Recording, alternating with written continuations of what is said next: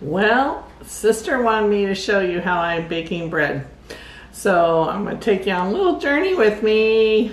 Uh, I'm not a pro. I've only made three loaves of bread and this will be my fourth.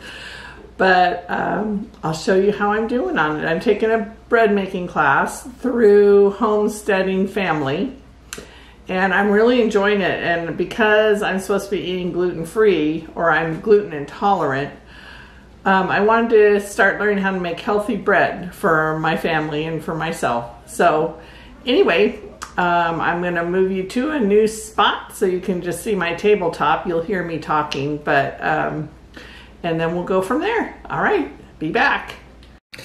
Okay, so like I said, by I, I am by no means a pro at this, but um, you first start with a cup of lukewarm water, and it should be no more than 110 degrees because my understanding is it will kill the yeast. I haven't killed it yet, which is a good thing. Um, so I pour it in my bowl, and then I add a tablespoon of um, honey, and I use honey that's local to our area because I'm I mean, my assumption is it's better. It's better for you. Um, for my allergies, I'm thinking that it would be better to have honey in my area. Um, so you put that in, and that's supposed to help activate the yeast because yeast actually eats sugar. And so um, that's why you add the honey. And then you add two teaspoons of, I'm using Bob's Red Mill active yeast, and you I found this in the refrigerator section. And you sprinkle that in, two teaspoons like that. And then you just mix it up and it will I'll show you I'll show you a picture in just a second but it will um, still have a few lumps in it but it seems to go away by the time it's active and going. But um, ah can you see that? Uh, I don't know if you can see that but anyway that's it. And now we wait 30 minutes for this to activate um, between 10 and 30 minutes. And so um, what she's been teaching us is that bread, it's not like a recipe you can use, it's techniques. And so because the atmosphere, the air, the humidity all uh, makes a difference in how the bread and the yeast works. So um, anyway, for me right now, I've been doing it about 10 to 15 minutes. Um, 10 actually yesterday when it was more moist. So um, I'm going to see how long this one takes and we'll be back in a little bit. Thanks. Okay, so now the the yeast is working. I don't know if you can uh, see that in there, but it's bubbling away. So we're going to add the next ingredients, which it's one tablespoon of olive oil. And you kind of spread it around so it doesn't all land in one spot. And then a half a cup of, of I'm using Bob's Red Mill um, unbleached white flour this time. Um, and you put that in there. And then a teaspoon, I'm using kosher salt, so I'm only using a teaspoon of it. And you never drop it all in the one spot, you kind of sprinkle it on because it um, will kill the, kill the yeast again. So, then you mix it up. And, you know, it's still kind of watery in there. So you start adding a half a cup at a time um, flour. And what you want to do is get it to the consistency where um, it's not sticky anymore and it's not sticking to the bowl because you shouldn't have much cleanup um, if you have it the right consistency. It should be pulling away from the sides of the bowl. Um, and so right now you can see it's still kind of sticky. It's still like a biscuit batter. So you keep adding a half a cup. Oops, I have a little princess playing ooh, in the background. So you can see now it's starting to pull away a little bit. So now you start giving it a little less flour. This is where it takes some muscle to get this going. And it's still sticky. I'm gonna add some more.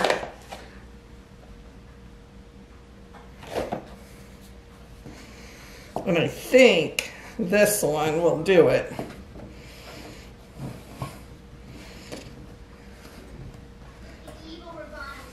Yeah, this one will do it.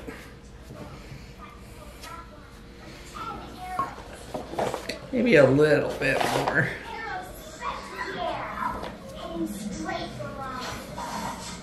Okay. So you can see when I'm mixing it now, it's just staying together basically in a ball. I could add a little more flour because it's still a little sticky.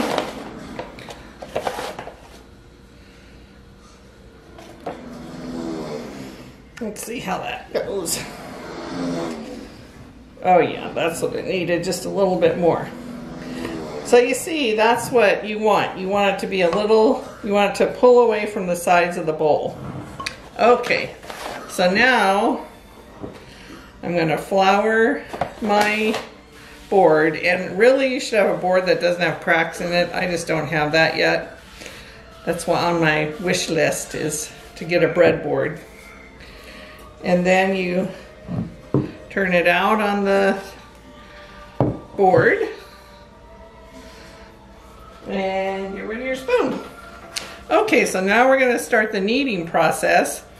And really, you're just, just like you would see it in a, in a, um, um, I mean, it's just, just kneading. And when you need flour, you to start sticking a little bit, you add that. And it should be about five minutes before it gets to the right consistency. And you'll see every once in a while it'll stick and that's how you know you need more flour on that board. And then there's a test that you do to make sure um, you have kneaded it enough. Um, which I will show you in just a second. I'll show you, but I mean, I actually know it, it's not enough yet.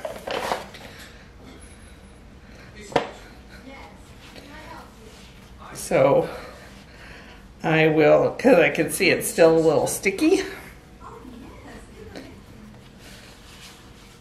See, if I didn't have a board with cracks, it wouldn't be sticking as much as it is right now. Okay.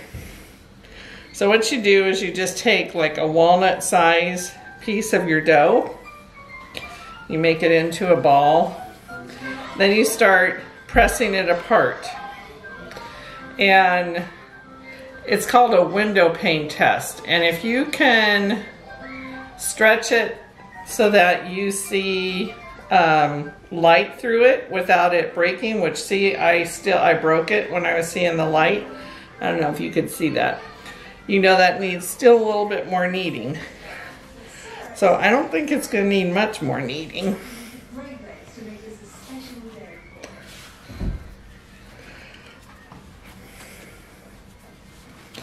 Should be just about done. Okay, let's see now. ball. And then start pulling it apart. Excuse me? And that's actually starting to look pretty good. So I can see through the dough without it pulling apart. You see that? So now, what we do is we oil the we oil the um, bowl that you're gonna be letting it rise in.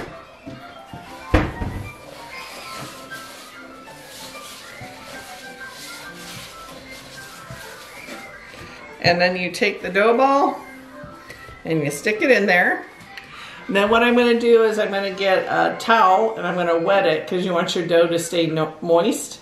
I'm to cover this. I'm to put it in a warm place. So I'm to, I turned my oven on and the top of my induction stove doesn't get super hot. So I'm going to set it there for about an hour and, and then we'll be back. All right, so this is what the bread looks like sitting. I just have a wet cloth and it's just sitting on top of the bread. Now it'll rise for about an hour. Okay, so once your dough has doubled in size, which that's what it's done here, and one way you can test to see if it's if it's ready is you take your two fingers, you stick them into the edge of the dough, and if the holes, when you pull your fingers out, if the holes cover themselves up, it's not ready yet. If you stick your fingers in and the holes stay open, it's ready. And I know that this is ready. So what you do is you punch it down, just like this. And what that does is it takes the, the um, air out and then you put it onto your onto your board and now we would let it rest for five minutes um, so that it will start stirring up the yeast again. We'll see you back in five minutes. Okay, so now our dough is ready. You can see it here. and what we're going to do is we're going to do basically the same thing. We're going to press it out, push it, and what we want to do is make it a little bit bigger than the size of, oops, you can't see. Let me move you down a little. Somehow you got moved up. Down. Okay. So you want to make it a little bit bigger than the size of the bowl. So you keep pressing it and pulling it back, pressing it and pulling it back. Okay. So now it's a little bit bigger. You can see it's off on both sides. Then what you do is you turn the sides under like that. So you have it about the size of the loaf pan. And then to get the air bubbles out of it, which I'm not so great at yet because I don't hit it hard enough, but you throw your bread. So it's five times really hard and that gets the air bubbles out supposedly. Gets it out of my teachers. Okay, so now the air bubbles supposedly are out. We put it into our pan. And now we cover it with uh, a rag and let it rise again, double in size. So there you go. We'll be back. Okay, so the bread has risen. Um, it took about an hour and I might actually let it sit for another few minutes and then I'm going to put it in the oven at 400 degrees and it takes about 15 minutes and then I'll show you how you know if it's done or not. See you back then. Okay, we're in our last part. The bread has come out of the oven after about 15 minutes and this is how we check to see if it's done. Turn it over and it should sound hollow and this sounds really hollow. It sounds great. So you just stick it on the bread rack and let it rest before you cut it. Um, and I can't remember if I told you the pan needs to be greased really well um, even the top lips because if your bread ends up rising really high um, you need to be able to pop it out as easy as you can so that's my bread baking adventure. And now I'm on to learning um, some how to cook with whole wheats and gluten-free flours. So I'm looking forward to that. Thanks for watching. Bye, FlossTube.